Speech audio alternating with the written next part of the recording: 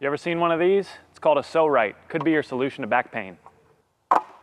As a pole vaulter, I've been using the Pso-Rite for about five years. It targets a muscle deep in your lower back called the psoas.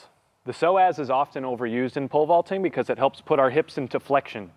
That overuse causes us back pain. Using one of these is pretty simple. Just put your belly button in the middle and let it sink in. Use your hands to help increase or decrease the pressure. If you want to grab one of these for yourself, head over to Pso-Rite.com, use code RISEPV for 50% off.